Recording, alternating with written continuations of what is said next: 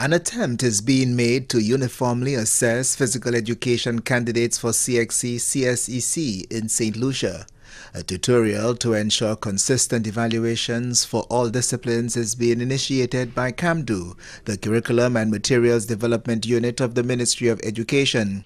Curriculum Specialist for Physical Education Theophila Charles says the initiative is timely as more children are taking physical education for CXC as a result of the fine work being done at the primary levels. We start teaching from grade K, some basic things, and then they move up until they master it up to grade 6. So we set standards for P. We have standards and our guide speaks to that.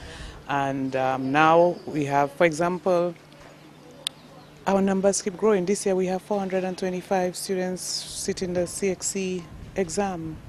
So the numbers have been increasing from 100 and something to 200, 300, and now we're into the 400s. Physical education assessor Kingsley Armstrong says the initiative uses football to demonstrate the technical aspects key for assessors' evaluation of CXC CSEC candidates.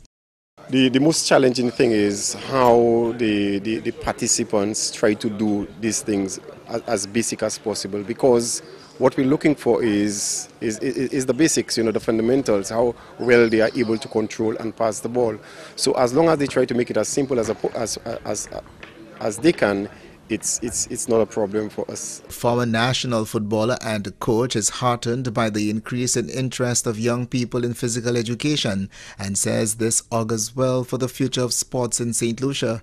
The tutorial shot at the Philip Maslach grounds in Fairford with the assistance of the communications unit utilized the skills of primary school footballers.